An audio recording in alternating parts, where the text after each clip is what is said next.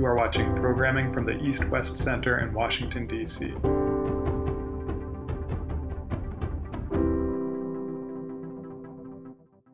It gives me great pleasure today to have with us uh, numerous distinguished colleagues from Japan, as well as our colleague from the Office of the Secretary of Defense of the United States um, and the director of the Japan uh, uh, element of that, uh, uh, uh, of the Department of Defense, to speak on the issue of today's seminar, Reducing the Burden of Military Bases on Okinawa, Implications of the New Security Environment.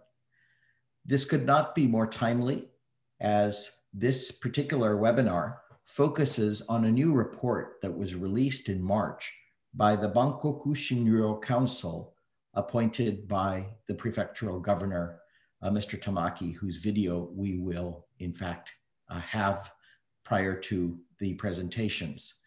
That report has been provisionally translated in English and our colleagues from Japan are who served on that council, which refers to Bridging Nations Council, will be presenting key findings of that report.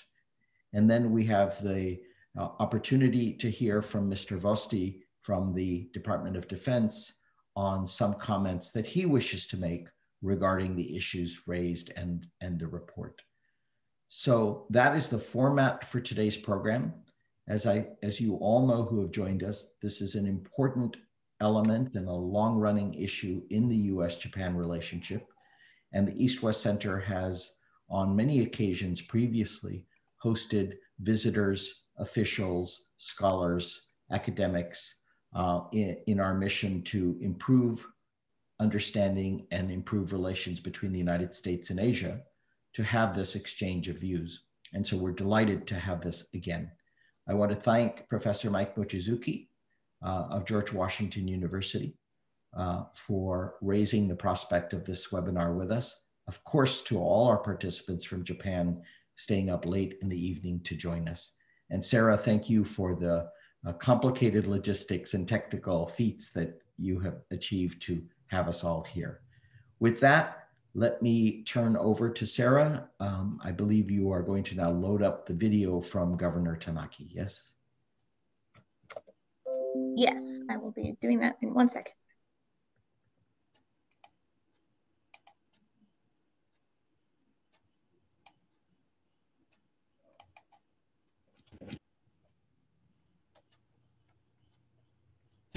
하이 中ウガナビ。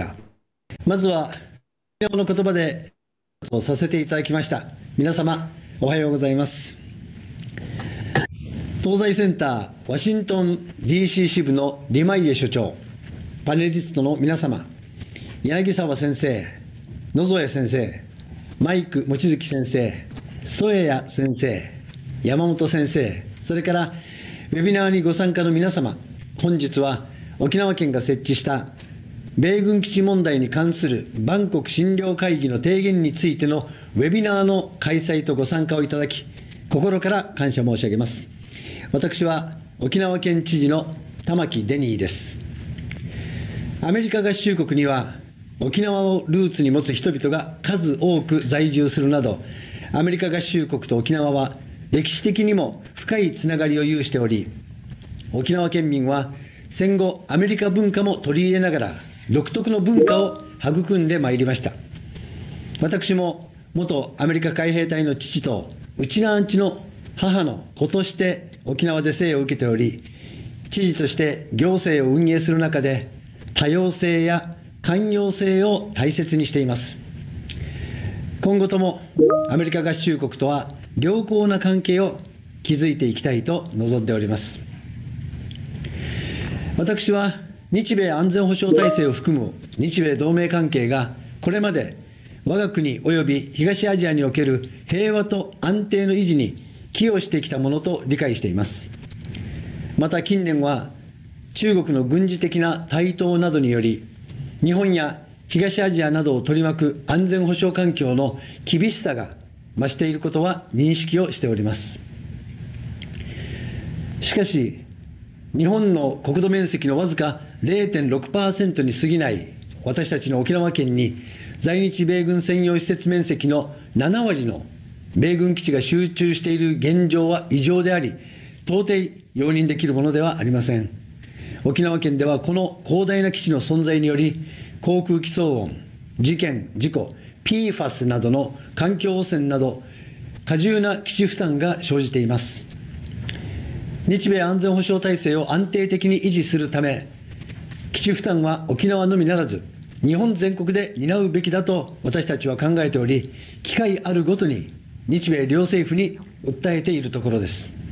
特に世界一危険とも言われている普天間飛行場の代替施設の建設計画については、25年前の古い計画であり、現在の安全保障環境の変化を踏まえたものとなっていないということに加え、小長前知事と私がこの計画への反対を公約に掲げて選挙に当選し、同計画の賛否に限定した県民投票では、投票総数の71.7%の圧倒的多数の県民がこれに反対する意思を明確に示しています。このようなことからも、普天間飛行場の代替施設は、辺野古移設を前提に進めるのではなく、普天間飛行場の一日も早い危険性の除去と早期閉鎖、返還に向かった代替案、プラン B を検討し、実行すべきであります。現在の計画により、埋め立てが行われている海域は、ジュゴンをはじめとする絶滅危惧種262種を含む5300種以上の生物が確認されており、生物の多様性が極めて高い、世界的にも重要な海域です。さらにこの海域には軟弱地盤や活断層の問題などが存在するため、代替施設は技術的にも財政的にも完成が困難であり、この計画の目的である普天間飛行場の早期の返還にはつながらないことが明らかです。また、仮にこの代替施設を十数年かけて完成させたとしても、不動沈下の発生が予測され、滑走路の運用に支障が生じる可能性が高い上に、ひとたび大きな地震が起きた場合には、米軍人の生命や米軍の財産に多大な影響を及ぼすことになると思います。それはひいてはアメリカの国益を損なうことにもつながります沖縄県では沖縄の過重な基地負担の状況や近年の安全保障環境の変化などを踏まえ在沖米軍基地の整理縮小に向けた議論を行うことを目的として今回のウェビナーのテーマとなる提言書を取りまとめた米軍基地問題に関するバンコク診療会議を設置いたしました。この会議では、外交・安全保障の専門家による2年間の議論を経て、2度にわたり非常に示唆に富むさまざまな提言をまとめていただきました。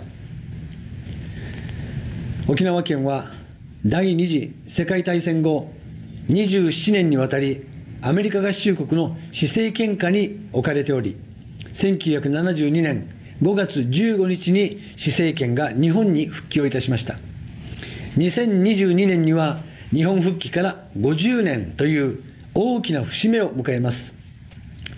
沖縄県としてはこの復帰から50年という機会を捉えバンコク診療会議の提言を活用して日米両政府に対し在沖米軍基地の一層の整理縮小負担軽減に向けた取り組みを要請したいと考えております最後になりますが今回のウェビナーのご参加者の皆様におかれましては、沖縄に思いを寄せていただき、活発なご議論を通して、在沖米軍基地の整理縮小に向けて、私たちに力を貸してくださるよう、よろしくお願いいたします。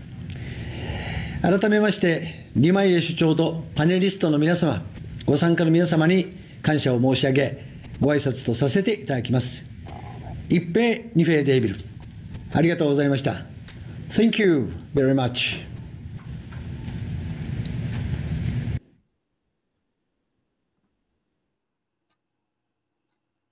Well, thank you very much indeed, Governor Tamaki, for that statement and for joining us by video from Okinawa uh, prior to the start of the presentations. I now have the honor to uh, welcome the panel panelists, and you see on your program the order in which they will speak because of their extremely distinguished experience, expertise, and work on issues surrounding the US Japan relationship and the Okinawa issue specifically. I won't go into full details, but they are available uh, in your invitation and you will see bios provided.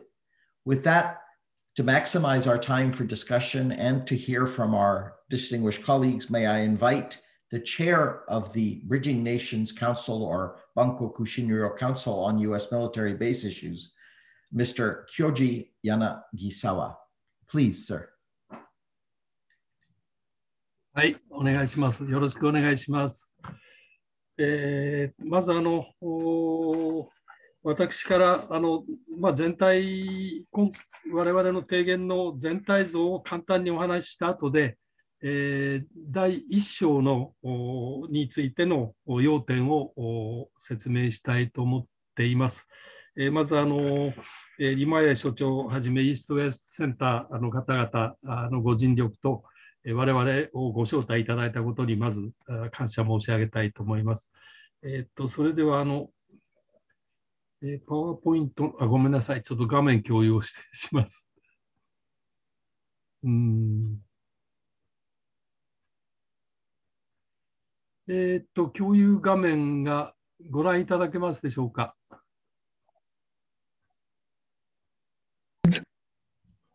？Yes. Yes, we can now see them. Thank you. はい。えー、っと、それで、あの、全体像はもう簡単に、あの、目次を書かせていただきました。まあ、大あの最初のところでは、えー、辺野古プロジェクトの問題、そして普天間について触れています。で、えー、2番目のところでは、米中のえ戦略的な競争関係、そしてそれが沖縄に与える影響ということを論じています。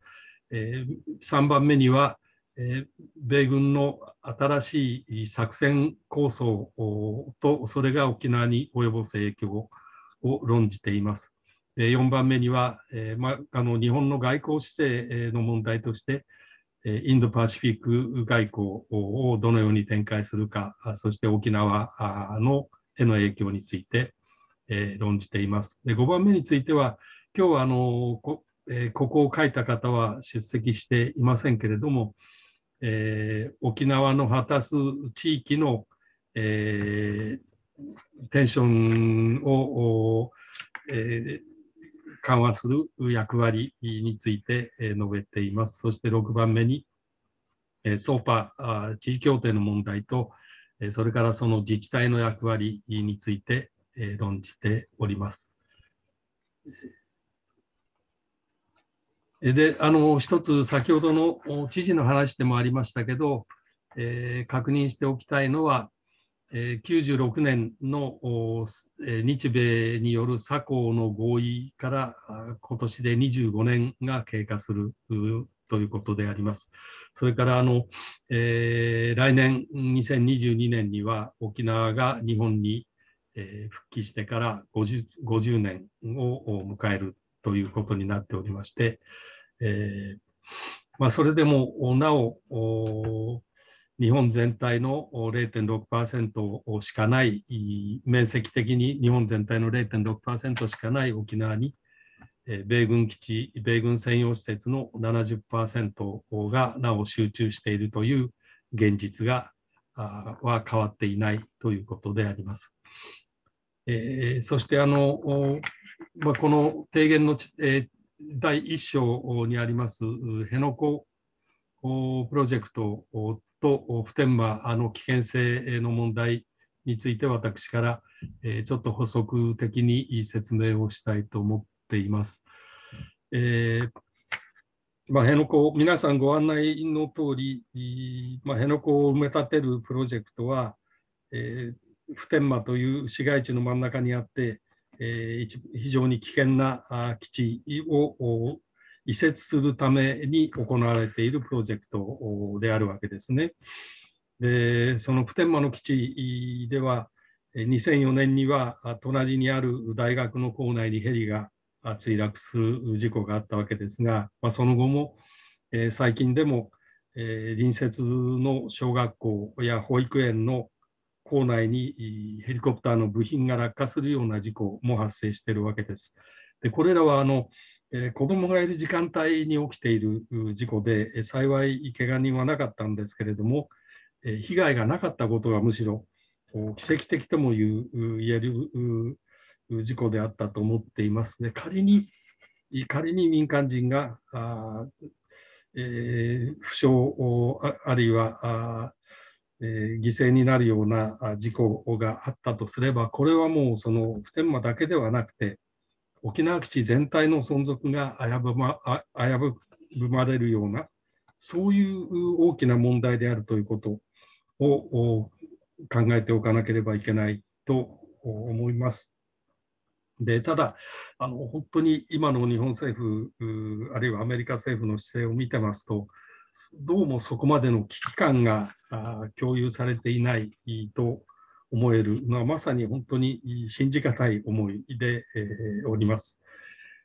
えそしてあの、辺野古について言いますと、まあ、日本政府は、え唯一の普天間の危険性を除去するための唯一の解決策であるとこう言ってるんですが、しかし私はむしろその最もありえない不可能な選択肢であるというふうに言わざるを得ないと思っています。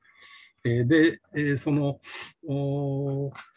問題、技術的な問題は、やはりあの大浦湾、建設予定地の大浦湾にある海底の軟弱地盤の問題です。で、えこの軟弱地盤に対応するために、え日本政府の見積もりでは、12年の歳月と、えー930あえー9300億円の経費が必要になると言っています。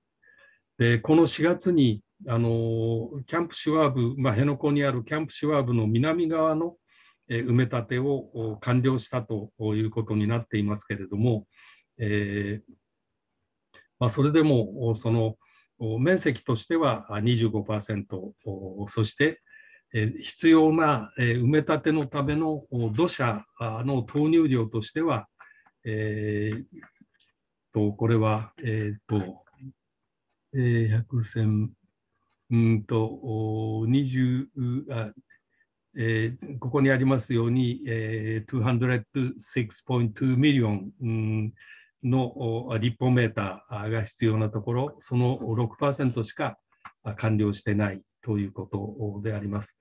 工事は遅れております。で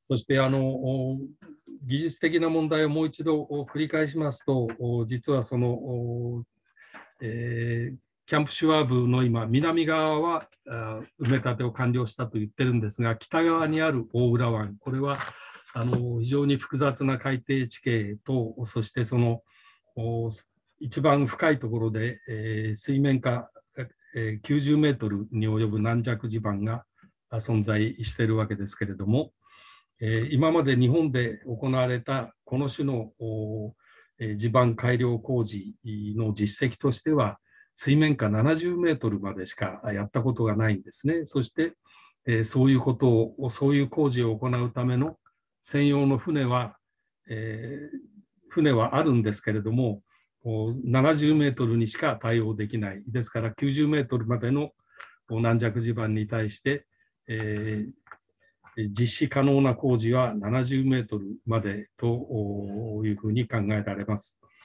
であの政治的な課題としては、えー先ほど知事も言ってました、まあ、ちょっと数字が違いますけれども、えー2019年の県民投票では、投票者の70%以上が、えー辺野古の埋め立てに反対をしています。それからもう一つ新たな問題として、えー大浦湾の埋め立てに極めて膨大な量の土砂が必要になってくるわけですけれども、これを沖縄県内から、この土を取ってくるということにした場合、まあ、そういう、計画になっておりますけれども、え沖縄の特に沖縄本島の南部地域というのは、え、第二次大戦末期の沖縄戦の激戦地であったわけで、ここにはまだ、えー、戦争で亡くなった方々の遺骨がまだ残されていると言われておりまして、こういうところの土を使うことになれば、沖縄県民の反発はなおさら深刻なものになるだろうと思っています。まあ、こういうような状況ですから、えー、私どもとしては、辺野古を埋め立てるという選択肢は技術的にも政治的にも財政的にも最もありえない選択肢というべきだろうと思っています。で、あの、アメリカ政府、あるいはアメリカ側は、もう絶えずこの問題は日本政府の問題だと、日本政府と沖縄県の間の問題であるという立場であったと思います。まあ、しかしながら、4月の先のバイデン大統領と菅首相による共同声明が出されましたけれども、そこでは、え日米首脳の共同声明として、辺野古が唯一の選択肢であるということが明言されているわけですね。そうすると、アメリカ政府もこのことに対する当事者として、えー、もう自ら日本政府に任せるのではなくて、自らその実現可能性ををしっかりと検証をしていく必要があるのではないかというふうに私は考えています。それからそのもう一つ、今度はその普天間の問題について言いますと、普天間の普天間飛行場の離発着の回数ですね、これはあの軽減されるどころか、むしろあの近年増大しているという傾向があるわけです。えーまあ、2017年に1万3581ソーティーというか、581回の離発着があった。18年には、えー、それが1万6332。えー、19年には1万6848。さらにあの20年はまだ数字が閉まってませんけれど、えー、増加する傾向にある。これは主にえー、普天間に配属されているヘリコプターの機数が増えていることと、もう一つは、えー、カデナなどの他の基地に所在する外来の飛行機の使用が、頻度が増えているということであります。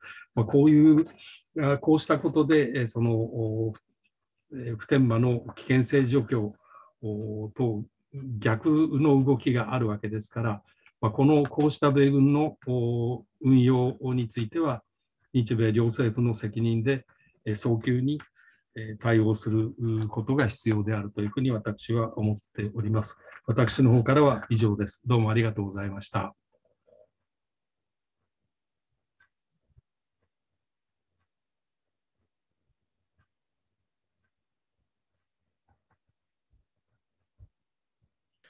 Well, thank you very much indeed, uh, Yanagisawa-san, uh, for the initial presentation.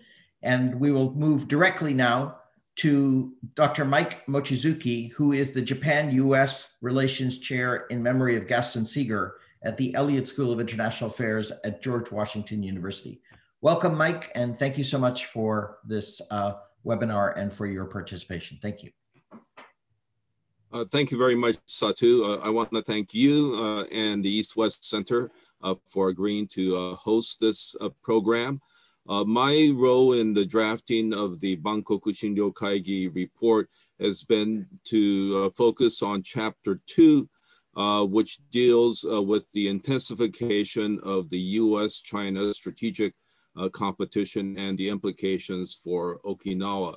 and in this chapter, I argued that this uh, competition between the United States and China uh, is likely to uh, intensify for five uh, uh, reasons. Uh, one is the profound shift in the balance of power and the psychological effect that this has on both the United States and China.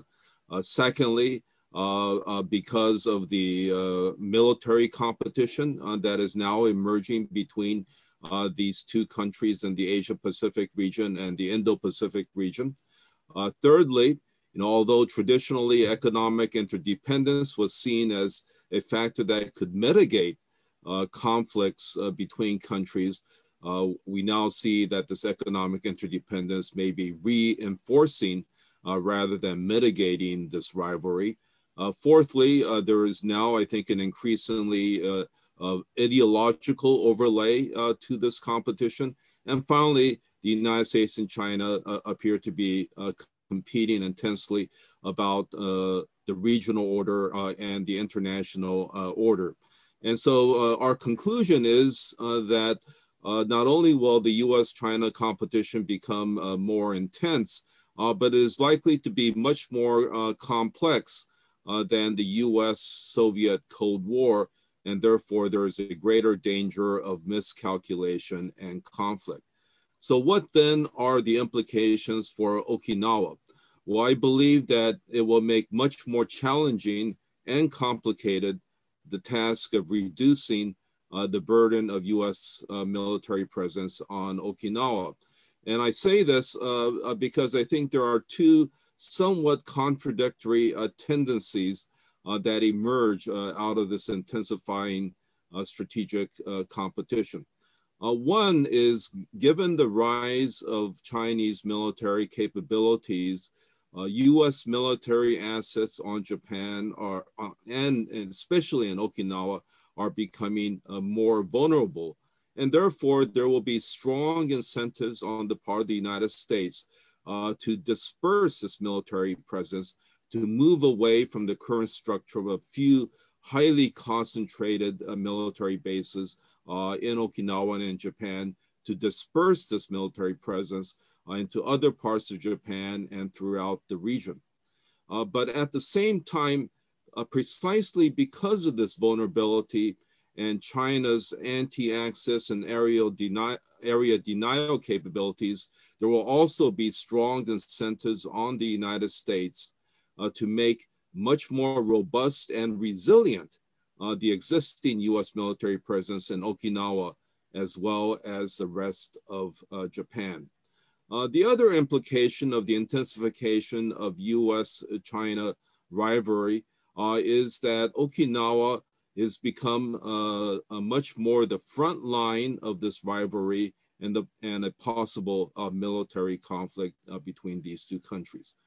therefore, more than ever before, Okinawa uh, has a much greater stake in promoting peace and stability and avoiding uh, war. Now, uh, the rest of this chapter uh, turns to the implications of the Biden uh, administration uh, for US-Japan relations and Okinawa in particular. and I argue that there's certainly a, a, big difference between President Biden and President Trump uh, President Biden uh, will be uh, much less uh, erratic and more steady in terms of the, his pursuit of foreign policy. Uh, President Biden has moved away uh, from the hostile America First rhetoric. but when you look at the approach to China, I think that there is a basic continuity between Trump and Biden regarding a tough approach to China. Uh, but there is uh, a key difference between the Trump administration and the Biden administration. And that difference is that the Biden administration, much more than its predecessors, will put a greater emphasis on allies and partners. So what then are the implications of this emphasis on allies and partners for Japan and Okinawa? I think there are, are three implications. Uh, first of all, uh, the United States uh, will give stronger and more consistent reassurance regarding its security commitment uh, to Japan and the Asia Pacific uh, region.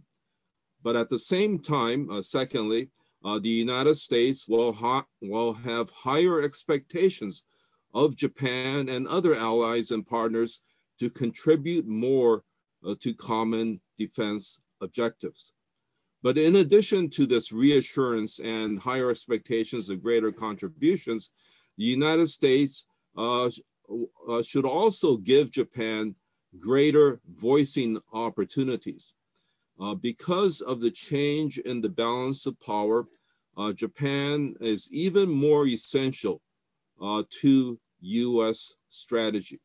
So given this change, uh, I argue that Japan and Okinawa should not hesitate to voice its concerns to the United States about the intensification of US-China strategic rivalry uh, and to suggest ways to reduce the US military presence uh, and burden on Okinawa.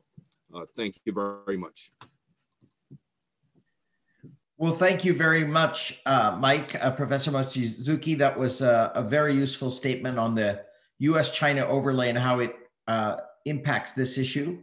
So we will now turn to Dr. Fumiaki Nozoe, Associate Professor at the Okinawa International University and who served as the Vice Chair of the Bankoku Shinryo Council. Thank you very much for joining us, Professor, and please proceed with your presentation.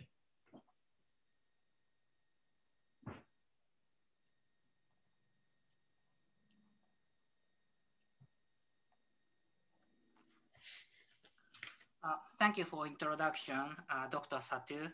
Uh, I'm Fumiaki Nozoe. Uh, it's my great pleasure to join this webinar. My presentation is about chapter three of this report. In this chapter, we argue that reduction of burden of US military bases on Okinawa should be promoted in the context of the new US military strategy. Given the US-China strategic competition, Okinawa in the first island chain is in the strategically important location. However, many people in Okinawa have been dissatisfied with the huge US military presence for a long time. Therefore, bases in Okinawa are politically vulnerable. In addition to that, as China enhances her military capability, such as anti-access and area denial capability, the US military predominance in Western Pacific is eroded and Chinese ballistic and cruise missiles places US military bases in Okinawa at risk. Against this backdrop, the US military is developing the new operational concept. The US Air Force is developing the Agile Combat Employment, under this concept, the US Air Force in Kadena conducts exercises for distributed operations. The US Marine Corps is also developing its own new operational concept called Expeditionary Advanced Base Operations, EABO. During this EABO, small units of Marine Corps disperse on key maritime terrains and build temporary missile and refueling stations in order to conduct sea denial and sea control. In recent article, Commandant David Berger stressed that given the vulnerability of large fixed bases to long-range precision strike, the US MC force must be able to conduct operations from a strictly expeditionary and highly mobile posture, and its constant distributed presence will introduce significant uncertainty into an adversary's decision making. Because the Marine Corps is the largest US military force in Okinawa, this reorganization and new operational concept will have significant implications on Okinawa. Of course, such a new operational concept does not necessarily lead to reduction of the US bases on Okinawa. In new Marine Corps force design, three Marine Expeditionary Force headquartered at Okinawa is to be the focal point. One of the new Marine Littoral Regiments is to be set up at Okinawa. And recent intensive trainings for EABO have had severe impact on the local community. On the other hand, it is true that large fixed and concentrated bases in Okinawa are militarily vulnerable. In a recent article, Kurt Campbell, the Indo-Pacific coordinator in the Biden administration, stated, Washington needs to work with other states to disperse US forces across Southeast Asia and the Indian Ocean in order to reduce American reliance on small number of vulnerable facilities in East Asia. In addition to that, Chairman of the Joint Chief of Staff, Mark Milley, also questioned the large-scale permanent stationing of the US forces and suggested the need for rotational deployment. In this context, reduction of the burden of military bases on Okinawa should be sought by dispersing the US military force from Okinawa to main islands in Japan and other locations across the Indo-Pacific region. Finally, even if all the land of the bases south of Kadena is returned as agreed in 2006, about 69% of the land area ex exclusively used by the US forces in Japan would still be concentrated on Okinawa. This plan is not enough for reducing of military bases in Okinawa. Therefore, the Japanese and US governments and the Okinawa prefectural government need to have close dialogue over the future of the US bases in Okinawa. Thank you. Thank you very much indeed, Professor Nozoe, uh, for that presentation and, and very good also to see your PowerPoints. I should mention at this juncture that um, the participants in today's program uh, who have PowerPoints and even um, others who did not use a PowerPoint will be preparing them and we will post them along with the recording of today's program so that our participants may refer to them um, as they uh, consider uh, what they heard and saw today. We now turn with great pleasure to Professor Yoshihide Soeya, Professor Emeritus at Keio University it's very good to see you again, uh, Soeya Sensei, and delighted to have you with us. Please proceed. Thank you. Thank you, Satu, for, for your introduction. And uh, as, as you rightly said, I'm now Professor Emeritus, which means I retired from, from Keio and uh, having a relaxed uh, life supported by pension. Not bad. Well, uh this chapter basically talks about the role of diplomacy. Uh, therefore, uh, the perspective is is a bit longer, longer than some, some you know some, some other people's uh, you know uh, attention, and, uh, and and and I in my I mean in this chapter uh, there are some some critical arguments about the current posture of the Japanese government Uh, but uh, that, that, critical perspective uh, rests upon two or three basic assumptions uh, that I have, uh, which is not discussed in this chapter, but allow me to just go over quickly. one is how, how, you look at the sort of aggressive posture of China. And I think to make complex things simple, I think at, at the heart of this lies the Chinese sense of sort of, uh, you know, uh, having having sort of, you know, uh, gone through the hundred years of humiliation, national humiliation, and now time has finally come for China to come back to the original place where it used to be. That is, of course, at the center of Asian order and uh, so, so, somewhat reminiscent of uh, Sinocentrism. And maybe maybe one of the end goals of this is uh, kind of a recovery of Taiwan. And I think their recent sort of aggressive postures has has a lot to do with this psychological aspect of of the Chinese. And uh, when it comes to this point, I think Chinese are almost unanimous, including you know, enlightened Chinese living abroad, educated abroad, and so forth. So this raises a question, a fundamental question. I mean, to what extent and how long uh, deterrence would work? If, if this is sort of the Chinese dream is the driving force, I think at the end point, uh, I think deterrence is not going to be effective. And of course, that's the Chinese goal, to win the battle without actually fighting. And uh, and so, so that's one assumption uh, of mine. And the second, uh, Japanese government in defending, you know, Henoko plan and every, almost everything about uh, military presence in Okinawa, they often talk about defense of Senkaku. And uh, but if if what I said about you know China's long-term dream is correct, then I think Senkaku contingencies should be regarded as part of bigger Taiwan contingency. Uh, in other words, uh, Chinese planning could and maybe should be to deal with Senkaku as part of bigger Taiwan contingency.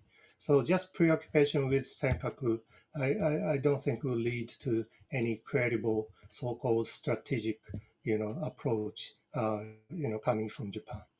And uh, and the third assumption is if military clash actually happens, this is a catastrophe. And of course, in many ways it is, but economic catastrophe, uh, you know, uh, among others. Supply chains will be cut off, and uh, American dependence on China economically is greater than Chinese dependence on the United States. And so sort of, you know, inflation and so forth, all kinds of, you know, disastrous uh, things might happen and instantly.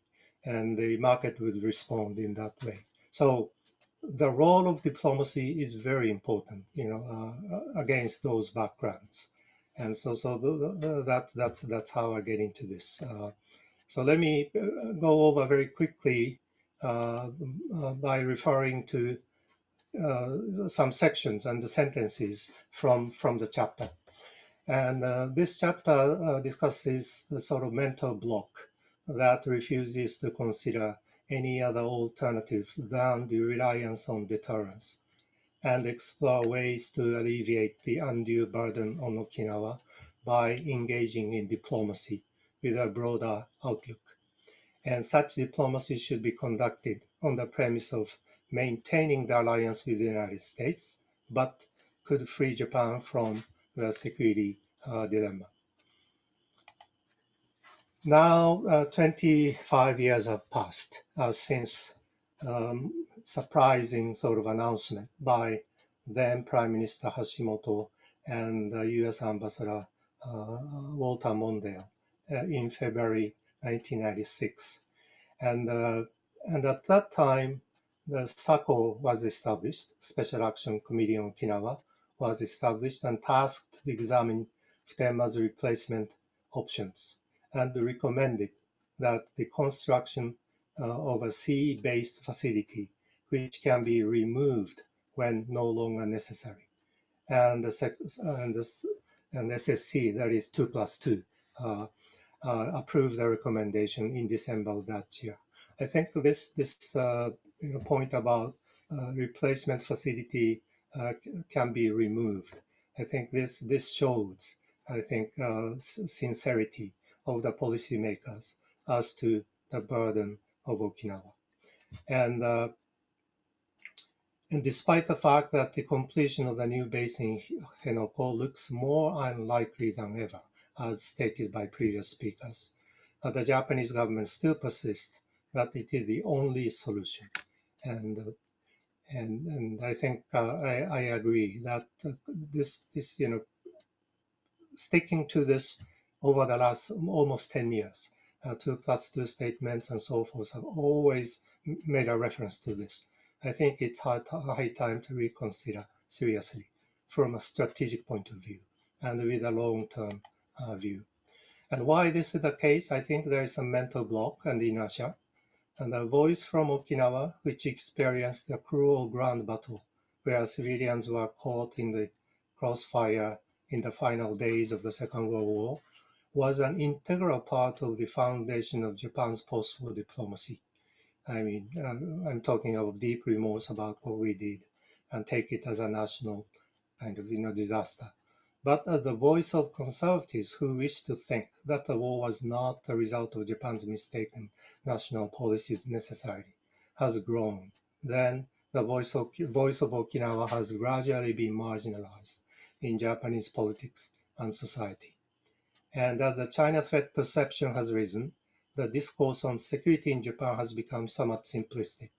In loudly proclaiming the importance of deterrence, a strategy of exclusively emphasizing the importance of the US Japan alliance has come to be recited as if it were a theorem.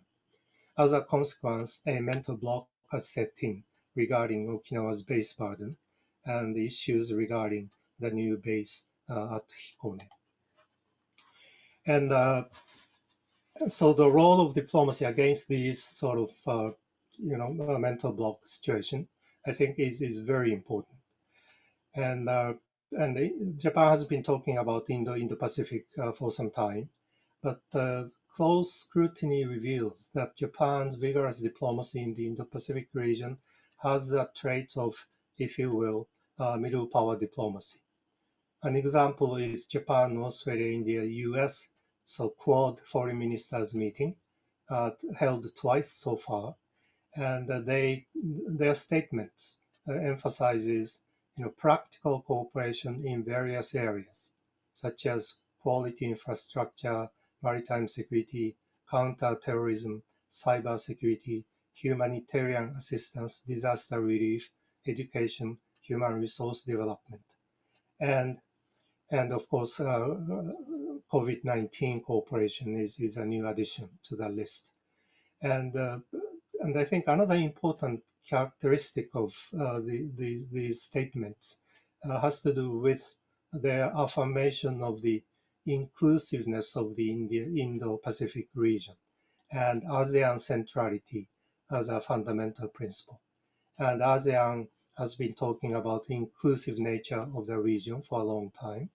And, and what they really mean is that they do, not, they do not exclude China in talking about a region. So, so they know, I mean, they have to live, and Japan should know, and we do know, of course, we have to live with China, you know, forever. And uh, many Japanese politicians, experts, and most of the general public, however, understand the FOIP, free and open Indo-Pacific, and Quad as part of a Japan-US alliance strategy to deter China. And I think uh, the task to redefine what the really workable Indo-Pacific strategy is, is there between Japan and the United States, I think, to consider further. And the, the promise of this diplomacy, I mean, the more adversarial Japan and the US becomes against China, the more likely Australia and India will shy away, not to mention ASEAN and the Republic of Korea. And uh, promoting Indo-Pacific diplomacy primarily aimed at developing partnerships among middle powers, without, of course, reducing the importance of the US, would offer uh, a new outlook diplomatic outlook. And given China's gross domestic product and military expenditure having surpassed those of all the Indo-Pacific countries combined, including Japan, India, and the Republic of Korea, partnerships among these countries would be irrelevant without the US presence as the mainstay of the region. This should lead to the idea of jointly supporting the presence of the United States in the region through partnerships among regional countries, which I call middle powers. So, the conclusion, the simplistic belief in deterrence relying on the US-Japan alliance alone to counter the perceived threat China prevents broader strategic thinking. The result is a hollow promise of reducing the burden on Okinawa.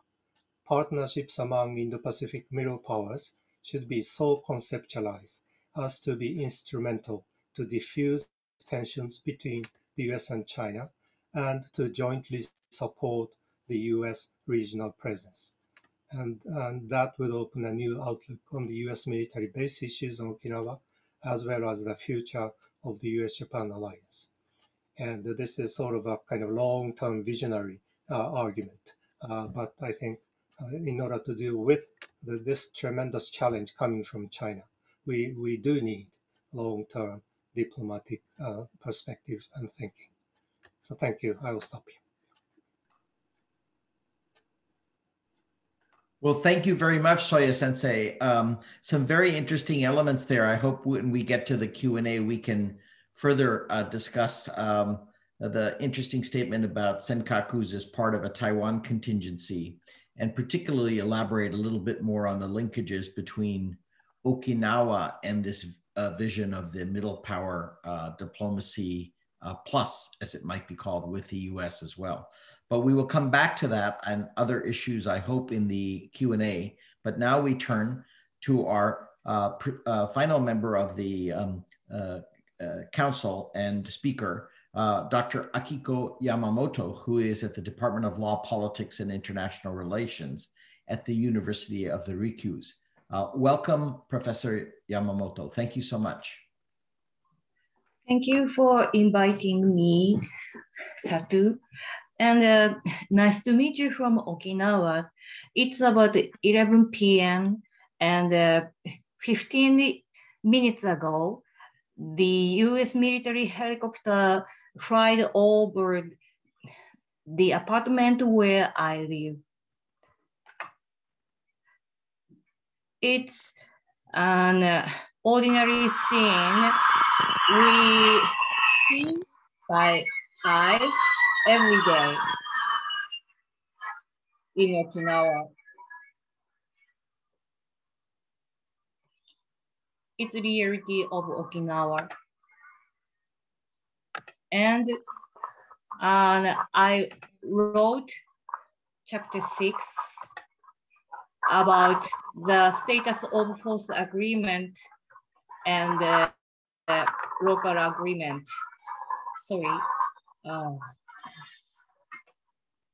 hmm.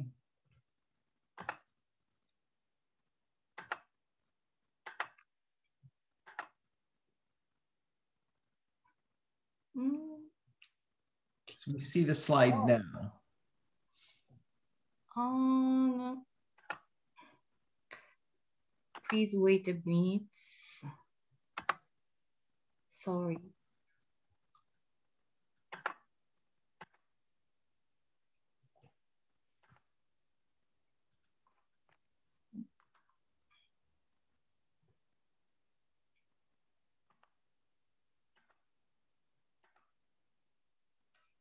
Hmm.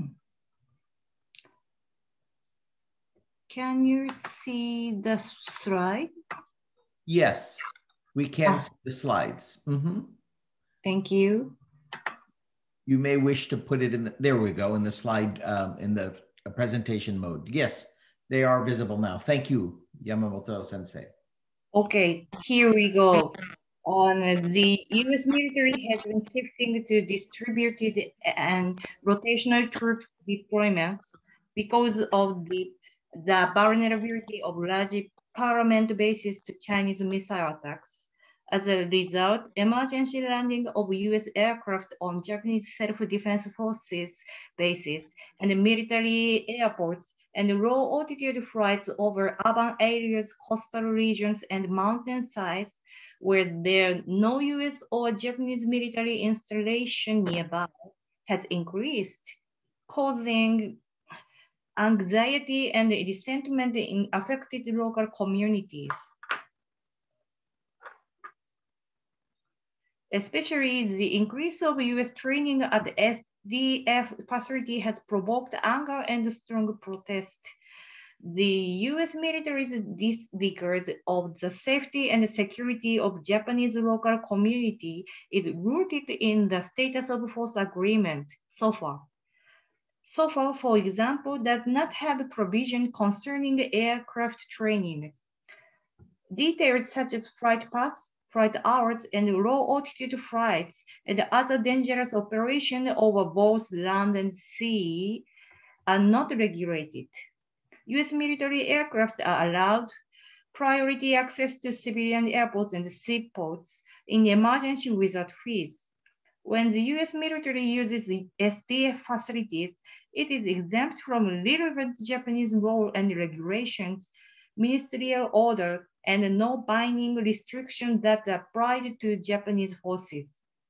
That the Japanese uh, the US government has promised to improve the operation of SOFA since 1995, only not to aid any reduction of incidents, accidents, and crime of US forces in Japan. The promise of concluding and implementing agreement between the Japanese and US government regarding US military bases take place unilaterally without respecting the will of local governments. In July 2018, the National Governors Association unanimously adopted a resolution entitled Proposal Concerning the Burden of United States Military Bases. This proposal included a thorough review of SOFA and the application of the civil aeronautics law and other relevant Japanese law and regulation to US forces in Japan in order to curb incidents, accidents, and crimes. But the Japanese government adhere to its position of improving the operation of SOFA and has not even considered the proposal of the National Governors Association.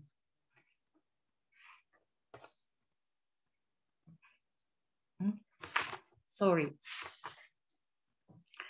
As SOFA only protects the status and rights of US forces in Japan, and as long as the Japanese and the US government simply repeats the ineffective policy of improving the operation of SOFA and resist demands of the governors for a revision of the, of the agreements, the second best option that local governments can take to protect their population is an agreement with the Regional Defense Bureau of the Ministry of Defense.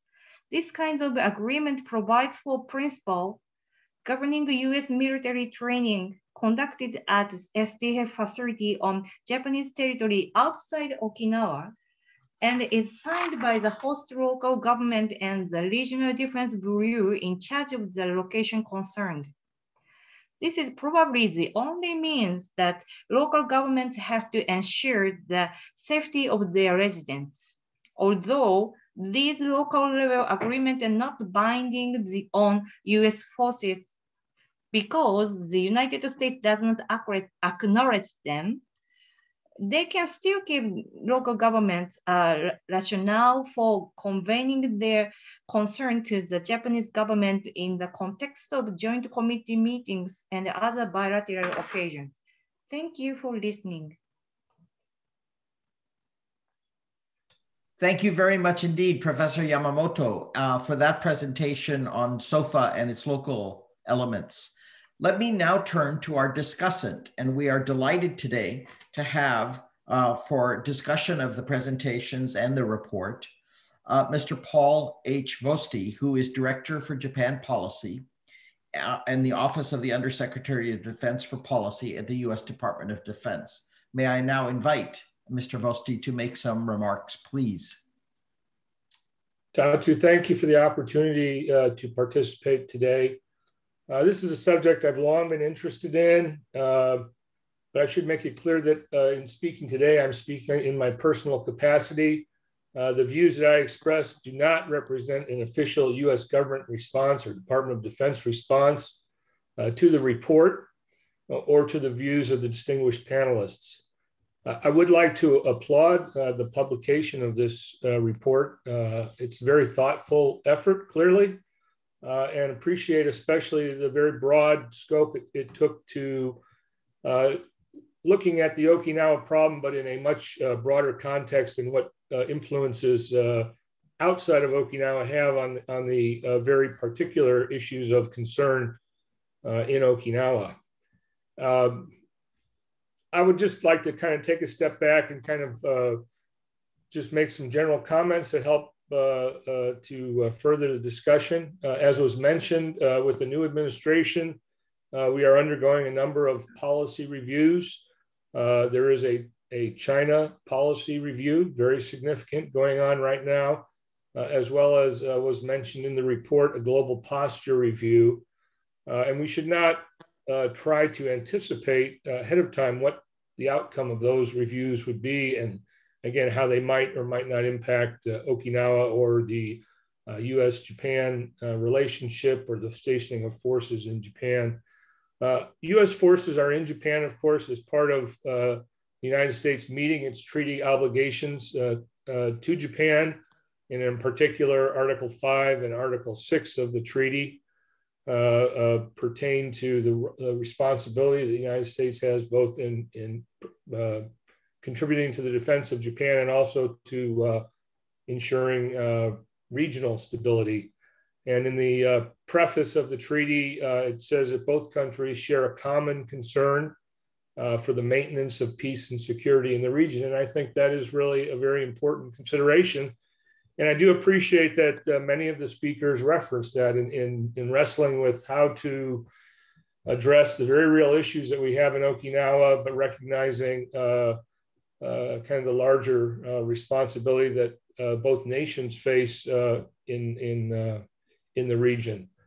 Um, I, I have been very much involved in and so we'll speak a little bit about uh, the uh, the realignment plan uh, for the U.S. forces in Japan.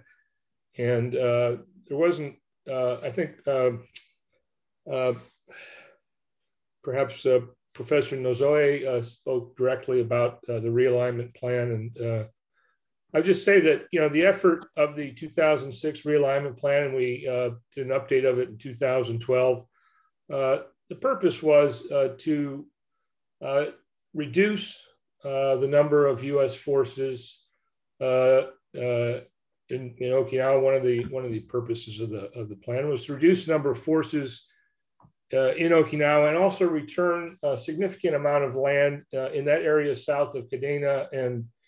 in terms of the main island of Okinawa, the population is in central and south Okinawa, the main uh, part of the population. And, and, so the bases there, I think, are a, a particular source of, uh, of kind of uh, daily friction or daily uh, discomfort. And so uh, the, one of the efforts of the plan uh, is to address that issue, ultimately to ensure the stable basing of, of US forces throughout Japan, in Okinawa and throughout Japan.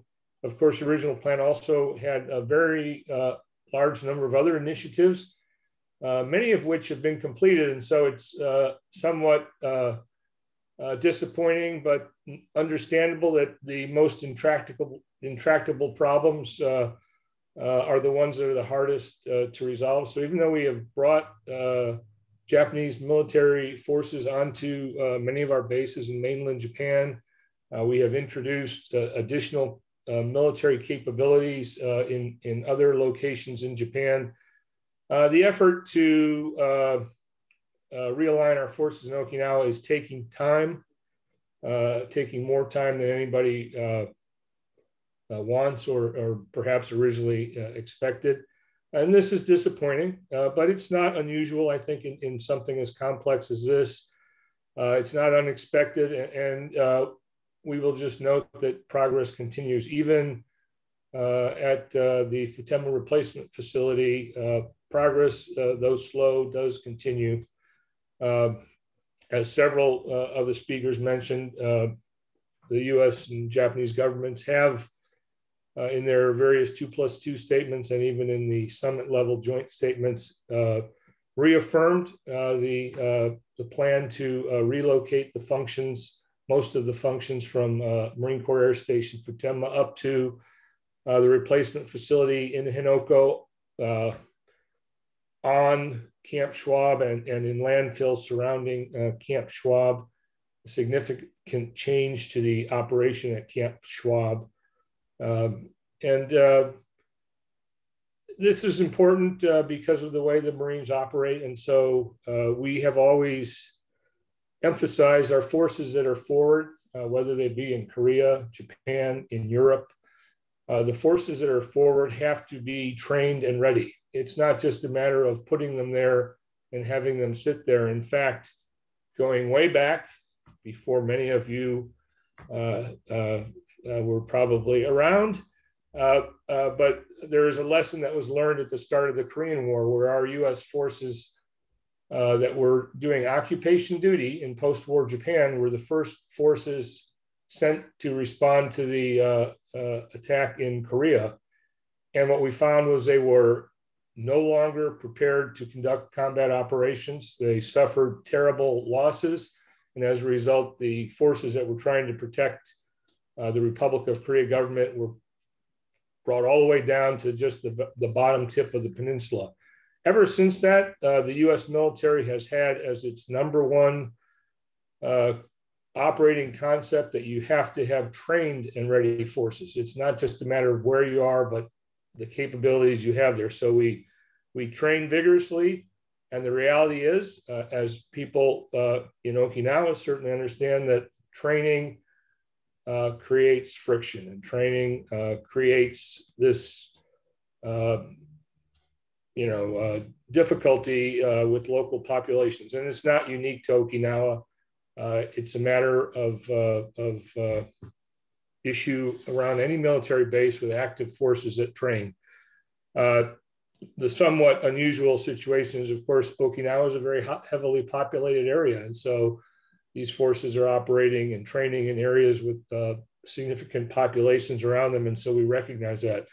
The status of forces agreement exists to try to manage uh, that balance between operations and training and the concerns of the local population. And we're well aware that uh, it is not uh, always operating in a way that's uh, satisfactory to the local population, but it is constantly it is the it is the mechanism in which we manage that, in which we make adjustments, uh, and the adjustments have to be implemented. If if adjustments that are made to SOFA procedures are not implemented, that is a valid issue for uh, uh, for further discussion and and uh, adjustment. So we always uh, are looking at the SOFA and how it can be made better and, and what uh, what conditions can can be adjusted. And, and I would the comment about uh, the the uh, arrangements made with local bureaus I think is important. We recognize that often.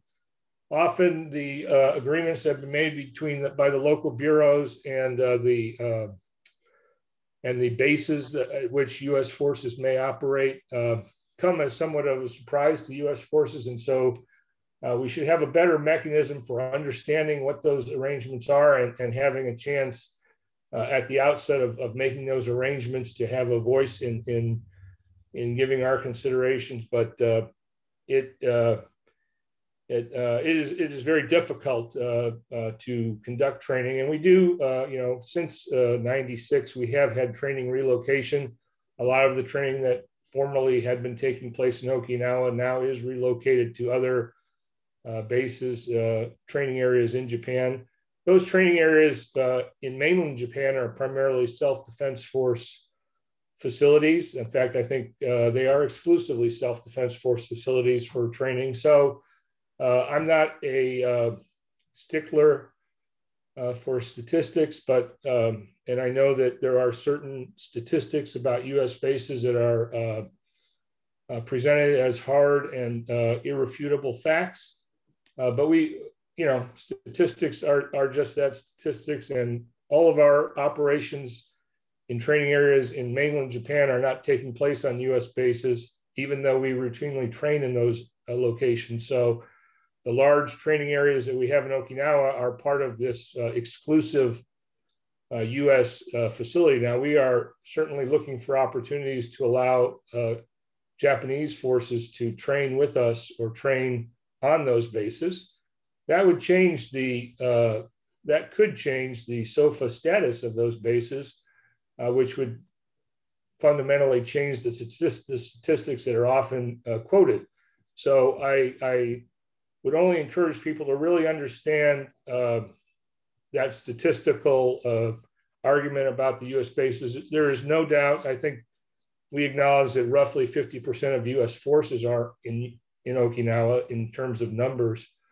Uh, and that is something, again, with the realignment plan, uh, uh as many as 9,000 Marines would be leaving Okinawa, uh, significant bases in the south, uh, Kinser, which is known as Makiminato, uh, Futenma, if the FRF is completed, large parts of um, Camp Lester, which is known as Camp Kuwae in, in Okinawa, and parts of Camp Foster, Zukeran. Parts of those would all be returned in, in the south, and, and large number of forces would, would be reduced, but the implementation of that uh, plan uh, is slow, but it, it does I think, go a long way towards addressing uh, the desires of the Okinawan people while, again, maintaining our, our, our uh, commitments to security.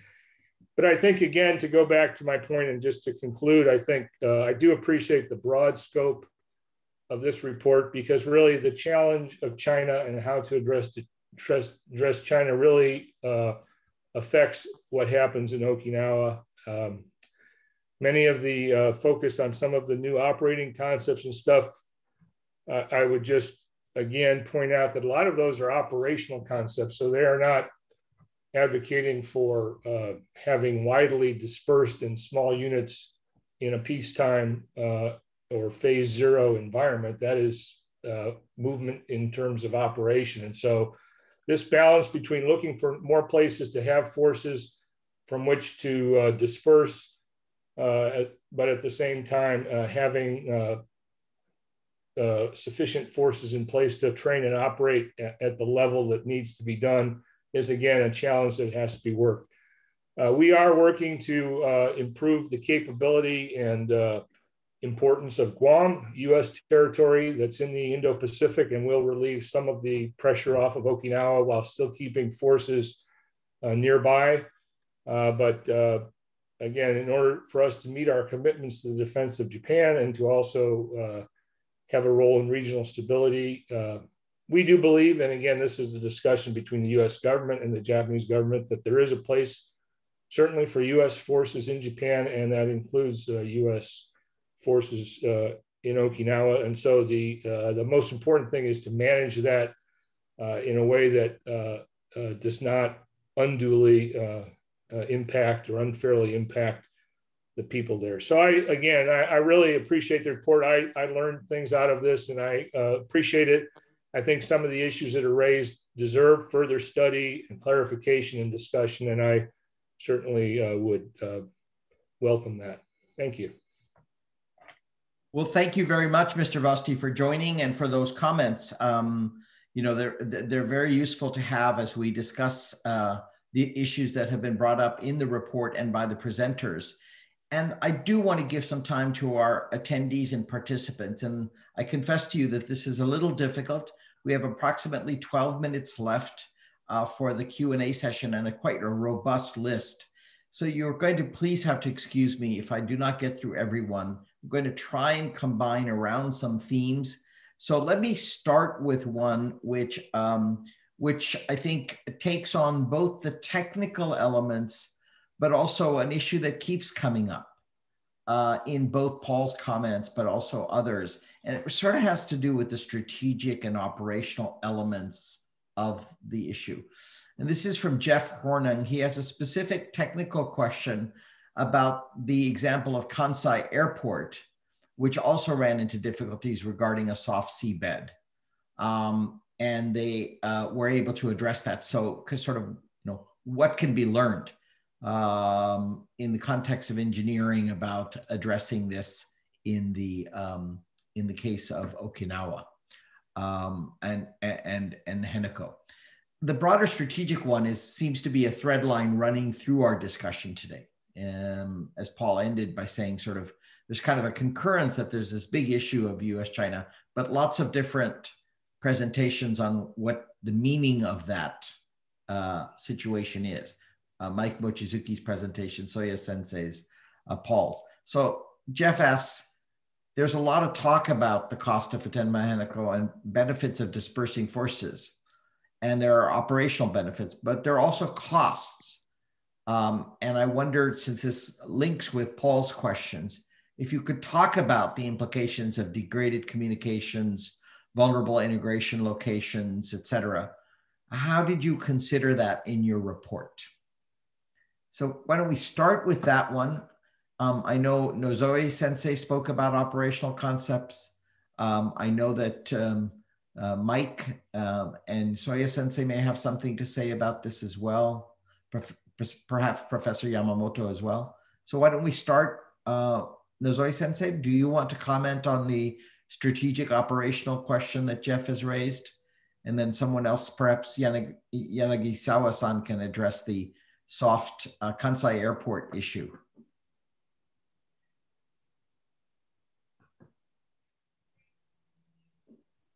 Thank you for uh, the question.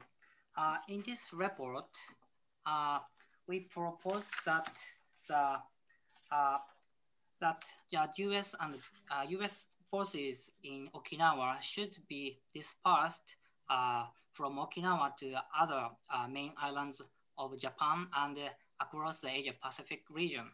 And uh, uh, in case, uh, in, in the, uh, with, with regard with, uh, in case of the main islands of Japan, uh, the US military forces in Okinawa should be relocated from Okinawa to the self-defense, the bases of self-defense forces in Japan's main islands in this case, the, the bases should be uh, co-shared with US forces and the, the US forces.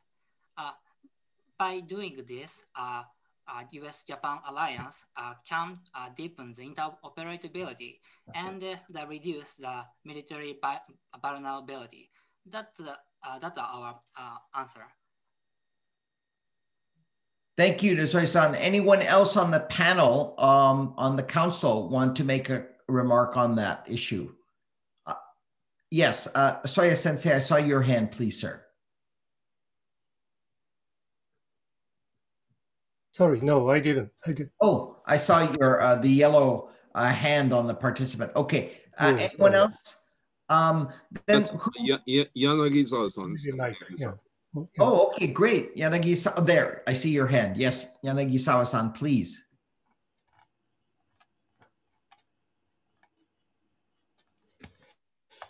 You're on mute, sir. Yanagisawa-san, you are on mute. Okay, I'm sorry. あの、聞こえますか？はい。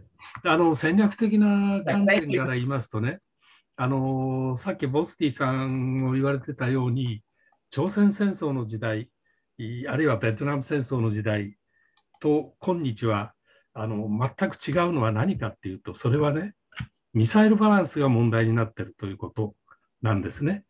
で、あの朝鮮戦争の時代もベトナム戦争の時代も、え中国や北朝鮮から沖縄が攻撃される心配はなかったんですね。ところが、今はまさにその中国のミサイルの射程の中にあって、その面では圧倒的に中国が優位になっているというところが問題。したがって、えー、もしこれをその抑止しようとすれば、中国の意思よりもアメリカの意思の方が、えー、よほど強くなければね、えー、抑止できないということになる。しかし、中国の意思は、えー、決して弱いものではないので、アメリカの意思が強くなければ、抑止はできない。しかし、アメリカの意志が強すぎれば、えー、かえって、えー、実際の、えー、戦争の危険も高まるという、こういう非常に、えー、厄介な複雑な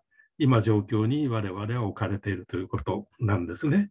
したがって、その単に抑止の観点から、えー、沖縄の基地を維持するということではなくて、もっと柔軟な、特にあのえー、外交的なあその米アメリカと中国の、えー、コミュニケーションをもっとしっかりやってもらわないと我々は非常にあの、えー、リスキーな状況に置かれているでその中で、えー、沖縄の基地も、えー、沖縄の基地をどう扱うかということによってねむしろ米中関係の安定が図られるようなあその基地の再編の仕方もあるんだろうと私は思っています。それからもう一つあの技術的なお話ですけれども確かに関西空港でもあるいは羽田空港でもね、えー、マヨネーズと言われるようなあの非常に深い、えー、軟弱地盤が存在したんですね。そこでの工事工事の実績は上げています。ただこれらはあの、えー、毎年あの相当沈んでいます、地盤が沈んでいますから、えー、相当な手入れが必要なんですね。辺野古でも当然そういうことが起こると思うんですが、問題はその深さが全く違うんですね。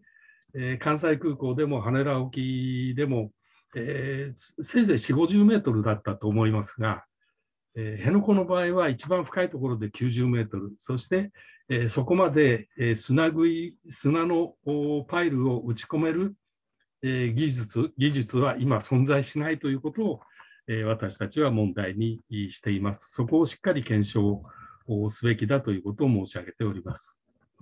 ありがとうございました。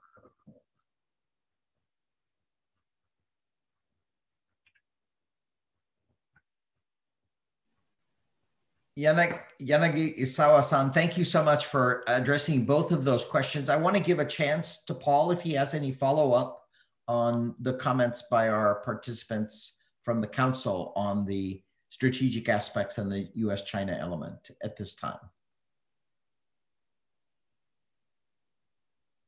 Paul? Sorry, I didn't hear the first part of your comment. I was switching channel. Uh, no worries. I, I, was asking whether you wanted to come in at this point as the discussant on either Nozoe-san's or Yanagisawa-san's comments regarding the strategic elements that Jeff Hornung raised. Um, otherwise, we can uh, move to the next question and you can come in later. Well, I, I do think I, I didn't. I, I, certainly did not mean to suggest that uh, uh, the Korean War and how it unfolded uh, uh is a model for what we would envision. I think people are wrestling with uh, what conflict would look like between powers using the most modern and capable weapons, and so it's it's almost uh, unmanageable. But there, we believe there are certain fundamental uh, realities, which is you have to have trained and ready forces. These these forces have to understand uh, the reality of, of uh, missiles and, and, the reality of, of uh, cyber attacks and space-based attacks, and all of these things are new and, and are subject of a lot of uh, deep thinking and and and disagreement and and and, and discussion. So uh, I certainly don't uh, mean to simplify the the challenge in, in Okinawa uh, and in Japan, but but nevertheless, uh, the aggressive actions of China and and how they might.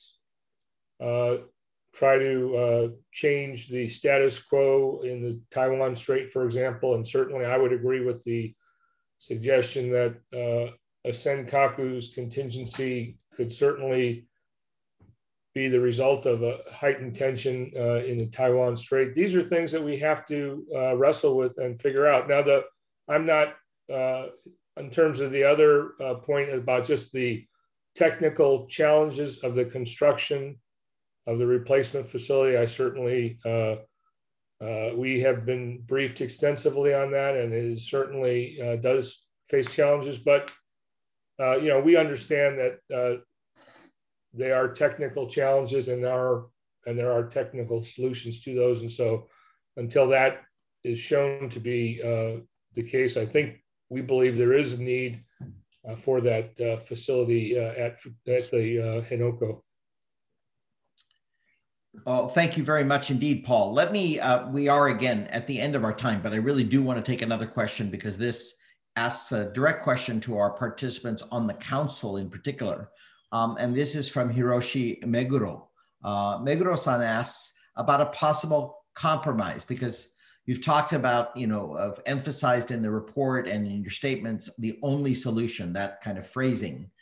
Um, but here's a question from Meguro-san about options. Did you discuss some of these? One is, um, about the Okinawa prefecture accepting the southern part of the Futenma replacement facility project that has already gone forward, has already progressed, while stopping the plan in the northern area on the Oura Bay side with the soft seabed, which you know we've discussed.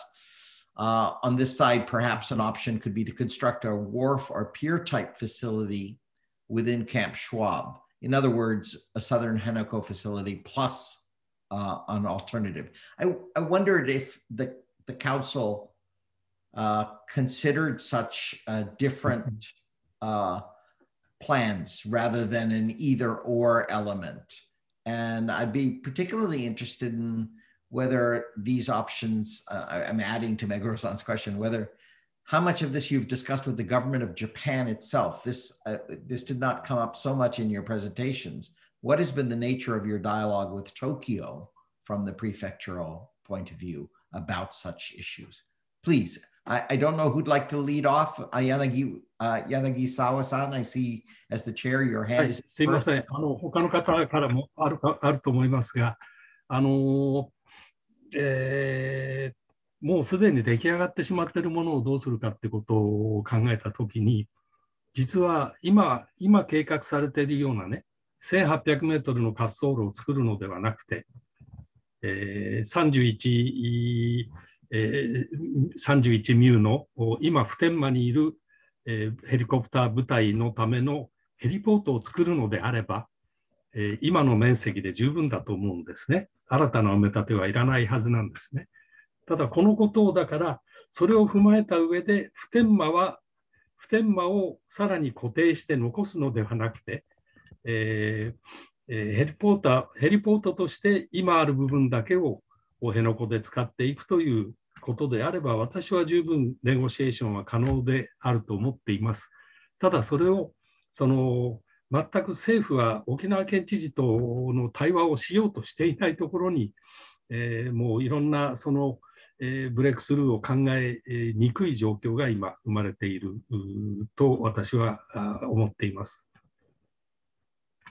以上です。他の方からあればどうぞと思います。Wonderful. Uh, thank you. Let's, I see uh, Mochizuki-san. Uh, please, Mike, why don't you go next and anyone else from our uh, council as well? Uh, uh, yes, in the report itself, we did not want to articulate uh, any kind of particular alternative uh, because, you know, we did have discussions and, and there are certainly uh, different alternatives. And the one that Mr. Yanagisawa uh, mentioned is, is one. I would just add to that possible compromise solution uh, is that you know I, I, I certainly understand uh, the U.S. military's perspective on this, uh, but the, the key thing I think is to uh, start to reduce uh, the operations and dangers around Futenma. Uh, and uh, you know, as uh, Professor Yamamoto mentioned, the operations around Futenma have indeed increased rather than decreased over time. And so, if we are thinking about some kind of compromise at Camp Schwab, I think at the same time, we should reaffirm the current promise uh, to return Futenma, but as an interim measure uh, to uh, begin to decrease uh, the operations so that it gets close to zero and move ahead to accelerate uh, the redeployment of the Marines that have been scheduled already to go from Okinawa to other places outside of uh, uh, Japan, uh, like Guam and, and Hawaii. And then uh, if, if that were to happen, then I think it makes it much more possible to find alternative places to put uh, some of the remaining uh, MV-22 Ospreys uh, so that in the end, you could really uh, shut down and return Futenma and then have this alternative heliport inside uh, Camp Schwab. And so it would be kind of a step-by-step, uh, an interim step first before the ultimate goal of returning uh, Futenma. Thank you. Nozoe-san, did you want to make a comment as well or? No? Nozoe-san or anyone else? Yes, please, if you wish. And Soeya-san wants to make a comment as well. I want to make sure I get the council's opportunity and then give a moment to Paul if he wishes. Nozoe-san, please. Uh, I agree with uh, Professor Mochizuki. Uh, already, Japanese government and the U.S. government uh, address the disperse of the training of the U.S. military uh, military in Okinawa. If uh, two governments promote this relocation of training, the activity in Okinawa will uh, reduce uh, drastically. That is uh, what we uh, argue the reduce reduction of burden on, Oki, Oki, on Okinawa. This is one big great option. Thank you. Thank you. Soeya Sensei.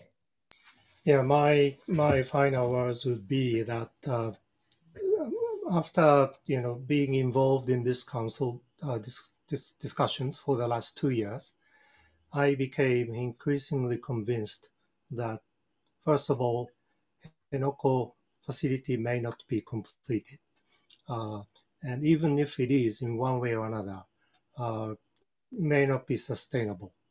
Uh, in other words, I doubt if there is some really strategic value uh, to this from a you know particularly American uh, you know strategic or military point of view. And if that's the case, and if if I'm wrong, of course, uh, it's it's fine. But uh, I myself have become convinced about that personally. And if that's the case, I think it's high time for uh, particularly the Japanese government to begin to think alternatives. Mm. And so the, I think this is the important message of, of the report. I mean, the Japanese government should be more become more flexible, and rather than sticking to this Henoko being the only solution, and asking the Washington Washington to agree to this and write this into statements, you know, and uh, so so that's I think that's the important message that we would like to you know bring to to the public and uh, hopefully to, to the government. And mm-hmm. the other thing we are proposing is there should be some sort of trilateral forum, U.S. Uh, U.S. government, Japanese government, and Okinawa, you know, prefecture, uh, to, to to discuss this.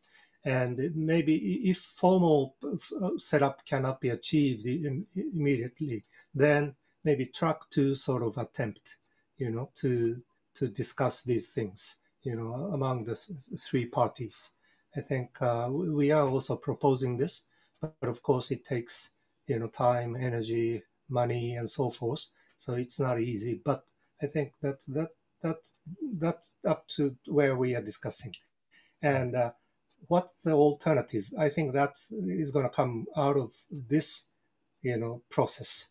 Uh, you know after you know sort of changing the current uh, government posture and getting to real substantial strategic, political, financial, and all other discussions. Uh, Soeya Sensei, if I may just follow up this issue of, uh, before asking Paul, uh, giving him an opportunity if he wishes, uh, this issue of whether Henoko will ever be built has, you know, has gone on for some time. This is not a new element. I'm, I'm curious, in your case, you said that you've come to the conclusion on the basis of your work on the council for the past two years. Is there a particular finding or assessment or variable that has led you to this conclusion that it will never get built? Um, I, I, just wondered, and given that your emphasis on the regional diplomacy element, I am curious of a trilateral approach because you seem to embed, you know, your your chapter or your section of the report in a in a wider context of of of diplomacy amongst regional countries.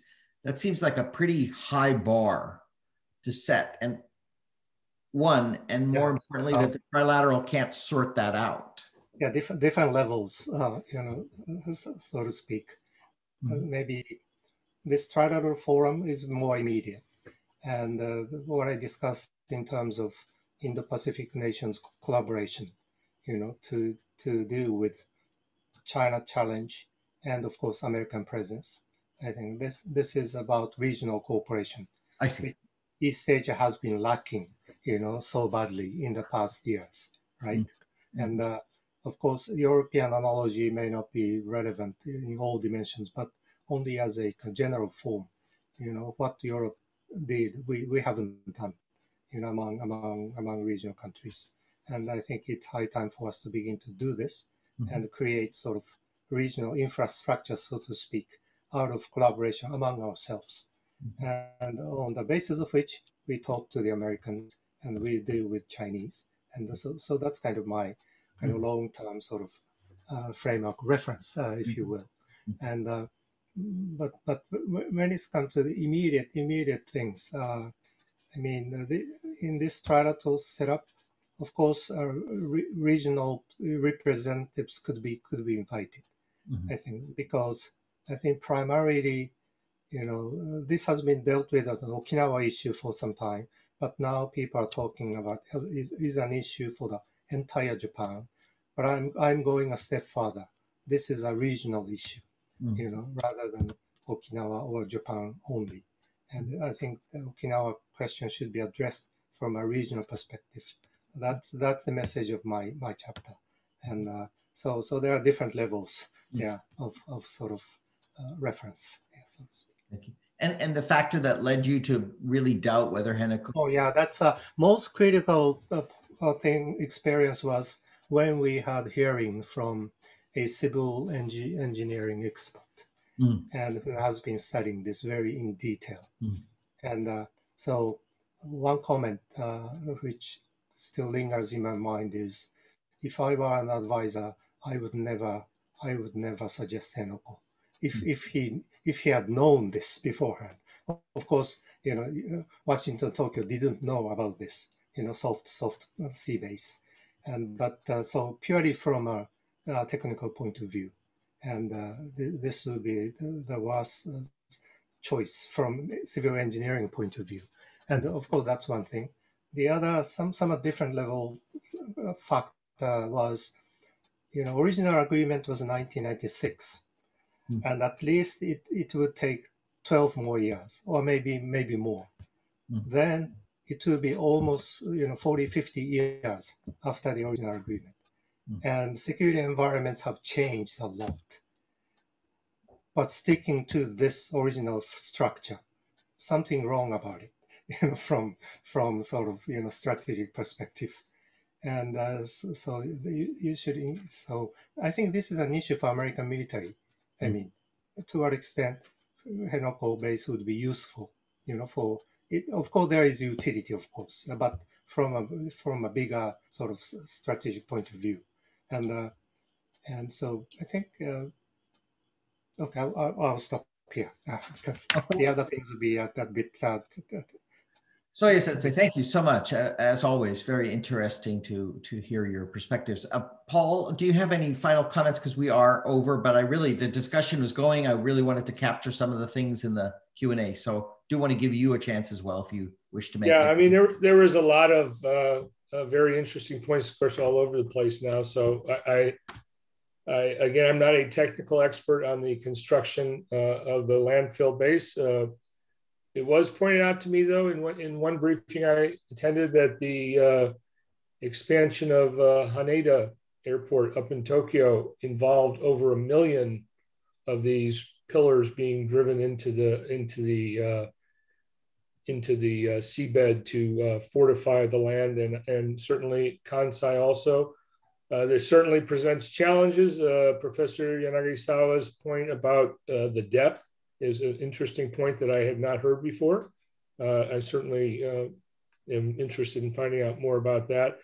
I also agree with the point that this is not strictly a military issue. This is about diplomacy to resolve the issue. And, and I think uh, the, the administration is committed to engaging in the region, engaging with China across all fronts, whether it's strictly diplomatic, economic, uh, transportation, any of the issues. COVID uh, kind of is a is an example of how uh, cooperation has to happen and the challenges of cooperation. And so I think that will that will be fundamental as well. With respect to the question of changing the plan, I, I'm personally aware of let's see, one, two, three, four, I think five different iterations of a plan. Uh, uh, the plan uh, is designed to meet stated requirements to the minimal level. Actually, not all of the capabilities that we have at MCAS Futenma would be re- replicated at the FRF. And so, you know, these are questions between the governments that would have to be resolved. I'll leave it at that. Thank you very much. We are over time, but it is just a, a sort of a sign of how uh, rich and important this discussion is, though ongoing for decades, but really an, an important one. And uh, we're very grateful uh, to the uh, council uh, appointed by uh, the Honorable Governor of Okinawa for the report and for offering to present this report on this webinar and of course to Paul Vosti for willing to uh, be a discussant for the report. So I want to sincerely thank you and to special thanks to Mike Mochizuki for flagging this opportunity to engage both uh, an American, a Japanese, an Okinawan, and of course regional audience because the East West Center reaches widely into the region. Um, I want to thank the interpreters for their very active efforts in making sure everyone had access to be able to hear these uh, great thoughts and experience and expertise. And uh, uh, we will uh, post the recording of the video and the PowerPoint presentations on our site, and we will social media out and send emails so that you may access it if you wish to refer. I'm so sorry we were not able to take questions, but I hope Mike and Soeya Sensei and others and I can confer on how we might follow up. Uh, intrigued by some ways of further uh, in, engaging this discussion, uh, including with our regional partners and, and, and friends. And that might be something that um, the East West Center could be helpful with. Um, and again, thank you to the chair, Yanagisawa-san, uh, for your presence here as well. Uh, Sarah, thanks for all your technical expertise. With that, I will uh, sign off, bid you all uh, a, a, good evening and some rest for those of you in Japan. Uh, it's very late at night. And please do stay tuned for upcoming programs. We have a very interesting series on North Korea's relations with external countries as part of our North Korea and the World website. Mm-hmm. First one kicks off on North Korea's relations with the post colonial world and how a new book on North Korea's diplomacy with the global south and why that persists, uh, as well as an Asian Development Bank 21, 2021 economic outlook uh, program coming up. So those are all in the chat. So stay tuned with that, again, good night to friends in Japan and in the region, and good day to everyone here on the US side. Thank you so much. Be well, be safe, and see you again soon. Bye bye.